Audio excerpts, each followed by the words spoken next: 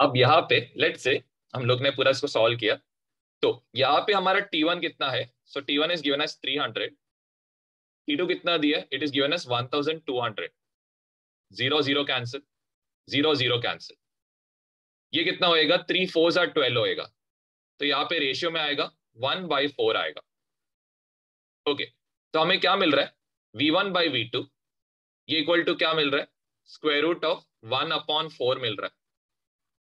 Okay square root of one कितना रहेगा one square root of four कितना रहेगा टू हमें वी वन का वैल्यू दिया है।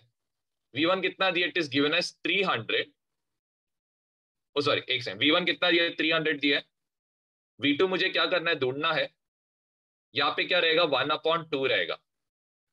क्या करोगे? क्रॉस मल्टीप्लाई करोगे? तो वी टू कितना आ रहा है? It is coming out to be two into three hundred which is कितना? सिक्स हंड्रेड मीटर पर सेकेंड तो आपने क्या नोटिस किया? अगर आपने टेम्परेचर बढ़ाया, आपका स्पीड ऑफ़ साउंड भी क्या हो रहा है? इंक्रीज हो रहा है। ठीक है? चाहे तो मैं इधर ना, एक आपको हेल्प के लिए जस्ट एक बता देता हूँ। जस्ट ध्यान देना। अगर आपका स्पीड ध्यान दो है अगर आपका temperature is increasing nine times ये क्या बोला? अगर आपका temperature is increasing nine times आपका वेलोसिटी कितना टाइम बढ़ेगा? You can write it as three times बढ़ेगा। सिमिलरली अगर आपका टेम्परेचर बढ़ेगा लेट से सिक्सटीन टाइम्स आपका वेलोसिटी क्या होएगा? सिक्सटीन का स्क्वायर रूट कितना है? तो यहाँ पे होएगा फोर टाइम्स ठीक है? अगर लेट से आपका टेम्परेचर इंक्रीज हो रहा है कितना? फोर टाइम्स तो फोर का स्क्वायर रूट कितना आएगा? टू तो वेलोसिटी कितने टाइम्स इंक्रीज होएगा? Two times increase I hope ये कंसेप्ट क्लियर हो। अभी चाहे तो स्टेटमेंट लिख सकते हो। Temperature of gas is directly proportional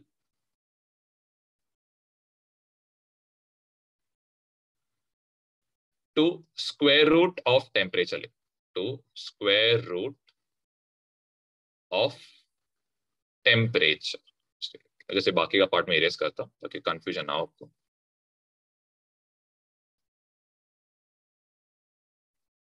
कोई पार्ट में doubt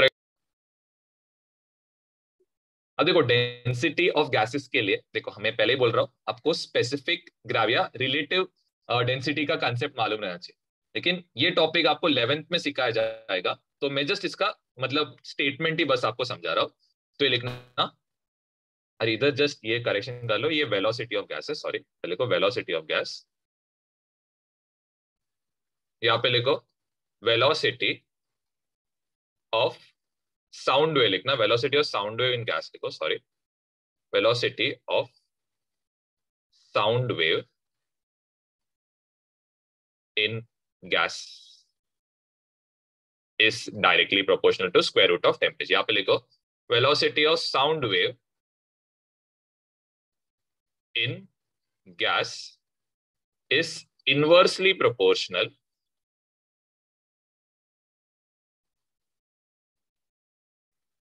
to square root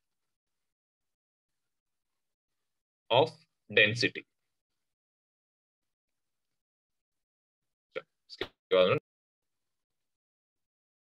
That is क्या मॉलिकुलर वेट अब इससे रिलेटेड हम लोग एग्ज़ाम्पल कर सकते हैं, क्योंकि हमने ऑलरेडी फिफ्थ चैप्टर और फोर्थ चैप्टर में इससे रिलेटेड पार्ट हमने ऑलरेडी किया तो एग्ज़ाम्पल में आप लिख सकते हो hydrogen gas and oxygen gas इन दोनों में हमें स्पीड ऑफ़ साउंड कैलकुलेट करना ठीक है?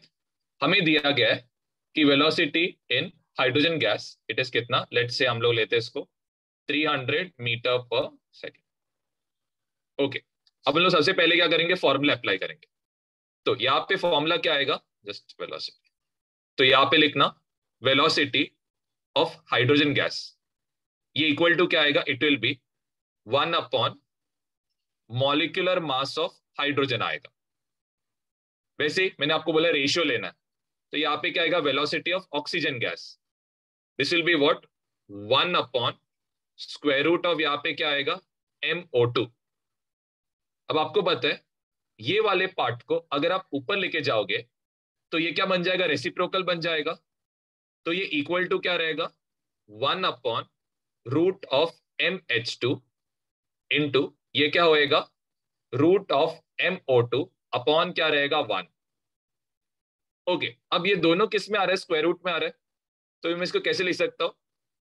एम ओ टू अपॉन क्या लिख सकता हूँ? एम एच टू ओके अब हमने जब फोर्थ चैप्टर किया था तो हमने पढ़ा था, एक ऑक्सीजन का वेट कितना रहता है? इट इज़ सिक्सटीन तो अगर ओ टू रहेगा तो ये कितना रहेगा? टू इंटू सिक्सटीन तो ये कितना आएगा? थर्टी टू आएगा।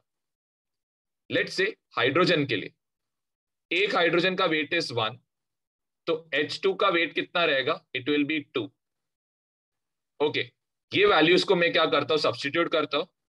तो ये इक्वल टू कितना रहेगा? इट विल बी H2 के बदले कितना आएगा? 32 हाइड्रोजन के बदले कितना आएगा? टू ये और ये कैंसिल ये इक्वल टू कितना आएगा? It will be root of sixteen square root of sixteen कितना है? इट इज़ फोर चलो, अब मैं वैल्यूज़ ऑफ़ एच टू और ये लिखता हूँ। तो velocity of H two upon velocity of O two तो ये इक्वल टू रहेगा। कितना दिया it is given as four okay तो वेलोसिटी ऑफ़ एच टू हमें कितना दिया it is given as three hundred velocity of O two हमें फाइंड आउट करना है। ये इक्वल टू कितना आ रहा है? फोर क्रॉस मल्टीप्लाई करो तो ये कितना आएगा? थ्री हंड्रेड अपॉन फोर आएगा विच इज़ क्या? Velocity of O two four और ये थ्री हंड्रेड कैंसिल आंसर कितना आ रहा है? सेवेंटी फाइव तो आपने क्या नोटिस किया? गैस अगर हैवी रहेगा, मैं वापस रिपीट करता हूँ. गैस अगर हैवी रहेगा, जैसे कि O2 आप देख सकते हो वेट उसका ज़्यादा है तो स्पीड ऑफ़ साउंड क्या रहेगा? लेस वापस रिपीट करता हूँ. अगर गैस हैवी रहेगा तो स्पीड क्या होएगा? लेस अगर गैस लाइट रहेगा example hydrogen one of the lightest gases है तो स्पीड क्या रहेगा? ज़्यादा रहेगा। ठीक है? जस्ट आप ये लिख सकते हो, यहाँ पे, मैं साइड में लिख रहा हूँ। Speed of sound in gas is inversely proportional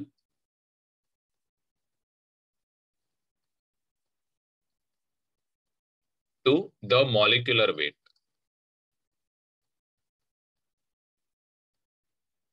ठीक, इसको आप सिंपली कैसे लिख सकते हो? Heavy gas speed is less लिखो, या फिर लेस वेलोसिटी लिखो। और लाइटर गैस मोर वेलोसिटी ये लिख के रखना कोई पार्ट में इसमें लिखो infra ultra and audible sounds.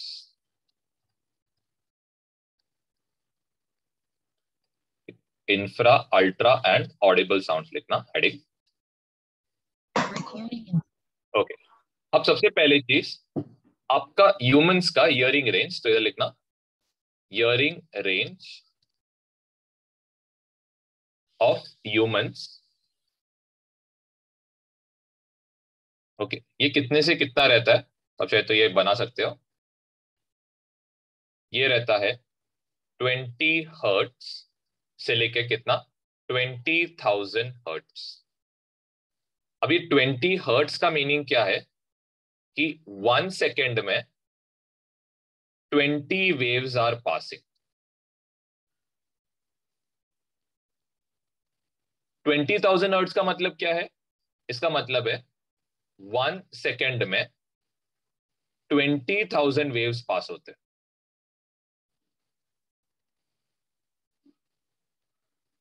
Okay okay.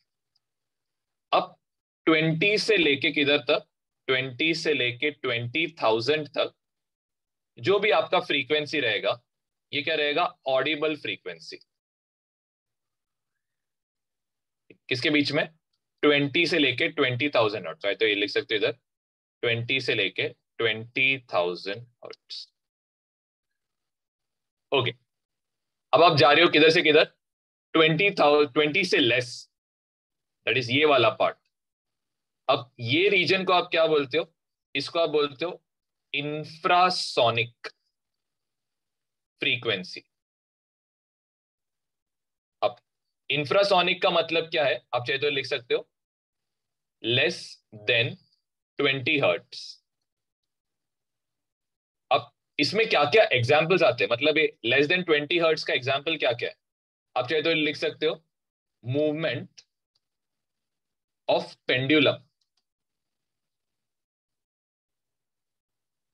Second आप लिख सकते हो वाइब्रेशंस ऑफ़ अर्थक्वेक्स लिख सकते हो वाइब्रेशंस ऑफ़ अर्थक्वेक्स अब ये आपने सुना रहेगा कि जो एनिमल्स रहते हैं, ये लोग डिजास्टर्स को पहले ही प्रेडिक्ट कर सकते मतलब डिजास्टर्स होने के पहले ये लोग क्या कर सकते अर्थक्वेक्स या कोई भी अर्थक्वेक्स या कोई डिजास्टर होने के पहले ये लोग क्या कर सकते उनको प्रेडिक्ट कर सकते इसका रीजन क्या है? क्योंकि एनिमल्स ट्वेंटी हर्ट से भी लेस साउंड्स को क्या कर सकते यर कर सकते। यही रीजन है कि कोई अर्थक्वेक्स होने के पहले कैट्स एंड डॉग्स ये लोग का बिहेवियर एकदम सा चेंज हो जाता है। ओके अब नेक्स्ट ट्वेंटी थाउज़ेंड हर्ट से ज़्यादा। This is also called as ultrasonic frequency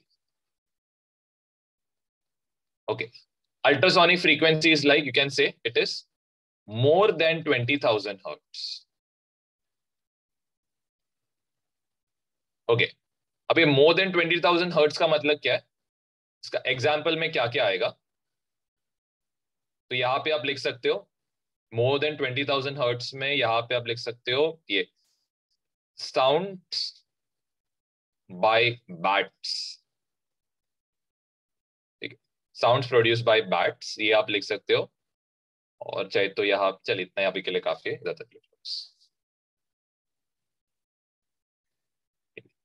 ये जो साउंड्स है, इसको आप क्या बोलते हो?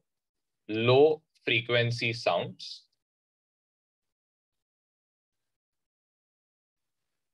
और ये जो साउंड्स है, इसको आप क्या बोलते हो? हाई फ्रीक्वेंसी साउंड्स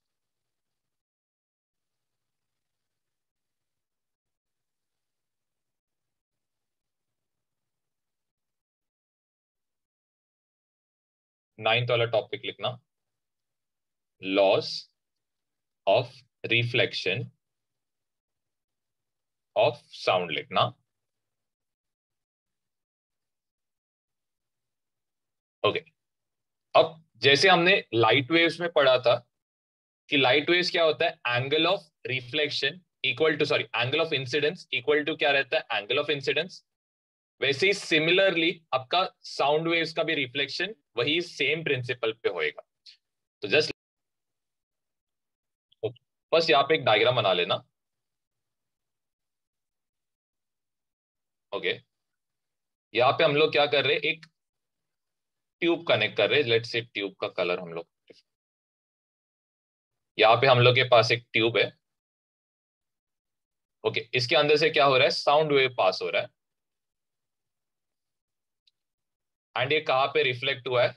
ये पर्टिकुलर सरफेस पे रिफ्लेक्ट हुआ है। यहाँ पे रिफ्लेक्ट होने के बाद ऑफकोर्स ये क्या होएगा? एक पर्टिकुलर एंगल में क्या होगा? बाहर निकलेगा।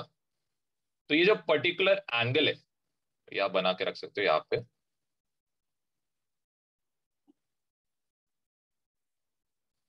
ओके जस्ट ये जस्ट डायग्राम बना के रखो पहले। तो यहाँ पे लेट से ये आपका क्या है? एंगल ऑफ़ इंसिडेंस है एंड ये वाला पार्ट क्या है? आपका एंगल ऑफ़ रिफ्लेक्शन तो यहाँ पे लिखना। Sound waves just like light waves follow principle of reflection of waves. Just like light waves, likhna, just like light waves. Follow principle of refraction of waves. इसका मतलब क्या है यहाँ पे आप लिख सकते हो angle of incidence equal to क्या रहना चाहिए एंगल ऑफ़ रिफ्लेक्शन ओके अब एक और एक इंपॉर्टेंट बात यह है कि कंडीशन क्या रहना चाहिए रिफ्लेक्शन के? तो यहाँ पे लिखो कंडीशंस फॉर रिफ्लेक्शन तो सबसे पहले चीज़ यहाँ पे ध्यान देना। यहाँ पे एक्सपेरिमेंट क्या है? तो आपको मैं वो समझाता हूँ। आपने क्या किया? ये जो ट्यूब है, ठीक है, ये वाला जो ट्यूब है, ये क्या है? फिक्स्ड है। ये ट्यूब आपने क्या किया? फिक्स करके रखा। ये जो ट्यूब है, ये क्या हो सकता है? मुँह हो सकता है। अब एक्सपेरिमेंटर ने क्या किया? अपना जो ईयर है, ठीक है? ऑफकोर्स यहाँ पे उसने क्या किया? कोई तो एक इंस्ट्रूमेंट रखा है, ये वाले पार्ट में। इंस्ट्रूमेंट या लाउड स्पीकर रखा है, ठीक है? जिसमें से वो क्या कर रहा है? म्यूज़िक पास कर रहा है। एंड यहाँ पे इस तरफ़ उसने क्या रखा है? ये ट्यूब में उसने अपना ईयर रखा है। और ये क्या करता है? कंटिन्यूसली ये जो ट्यूब है, इसको क्या करता है? लेफ़्ट टू राइट क्या करता है? इसको रोटेट करता है। Okay okay. अभी क्या ऑब्ज़र्व करता है? जब उसने ट्यूब को इधर रखा था लेट से ये वाले पोजिशन में रखा था तो उसको बहुत कम आवाज़ सुनाई दे रहा था, क्योंकि यहाँ पे इसका एंगल ऑफ़ रिफ्रैक्शन क्या था? ज़ीरो था। उसने क्या किया? उसको पूरा इधर तक लेके गया, ये वाले पार्ट तक। यहाँ पे इसका एंगल ऑफ़ रिफ्लेक्शन कितना हो गया? हंड्रेड नाइनटी डिग्री हो गया। यहाँ पे भी इसको आवाज़ सबसे मिनिमम सुनाई दे रहा था। लेकिन जैसे ही उसने एंगल ऑफ़ इंसिडेंस मतलब लेट से ये एंगल ऑफ़ इंसिडेंस कितना थर्टी डिग्री तो जैसे इसने क्या किया? थर्टी डिग्री पे रखा तो उसको मैक्सिमम अमाउंट ऑफ़ साउंड सुनाई दिया। तो इससे ये एक्सपेरिमेंट क्या होता है? प्रूव होता है कि जो लाइट वेव्स और साउंड वेव्स है, ये लोग दोनों क्या करते हैं? एंगल ऑफ़ रिफ्लेक्स या साउंड वेव्स का जो प्रॉपर्टीज़ है, उसको क्या करता है? फॉलो करता है। आई होप ये पार्ट क्लियर एक्सपेरिमेंट आपको समझा रहेगा। वो लोग बस जस्ट समझ लेना, ये जो सेकंड ट्यूब मैंने जो बनाया, ये क्या मूवेबल ट्यूब है? इसको हम लोग लेफ़्ट टू राइट क्या कर सकते हैं? मूव कर सकते है। रोटेट कर सकते हैं। क्या ऑब्ज़र्व किया गया? जब आपका एंगल ऑफ़ इंसिडेंस और एंगल ऑफ़ रिफ्लेक्शन मतलब ट्यूब का जो एंगल है, जो मूविंग ट्यूब है, उसको आपने एंगल ऑफ़ इंसिडेंस पे रखा, तब आपको आवाज़ क्या सुनाई दिया? मैक्सिमम सुनाई दिया। बाकी कोई भी एंगल पे आपको आवाज़ क्या सुनाई देगा? थोड़ा सा कम सुनाई देगा। सुनाई देगा, लेकिन लेस सुनाई देगा। ओके अब ये तो कंडीशन है तो मैं कंडीशन जैसे इधर लिखता हूँ। जस्ट एक सेकेंड तो इधर लिखना कंडीशन लिखना। सबसे फ़र्स्ट आप लिख सकते हो। फ़र्स्ट कंडीशन में यहाँ पे, आप चाहे तो लिख सकते हो। Angle of reflection should be equal to angle of incidence लिखना। सबसे फ़र्स्ट ये आपका कंडीशन रहना चाहिए। एंड सेकेंड ये जो सरफेस है, ये सरफेस क्या रहना चाहिए? सॉलिड या फिर क्या रहना चाहिए? लिक्विड सरफेस भी चल जाएगा। इधर चाहे तो लिख सकते हो। Surface for reflection should be hard surface लिखो। आप इसमें ब्रैकेट में चाहे तो लिख सकते हो। सॉलिड और लिक्विड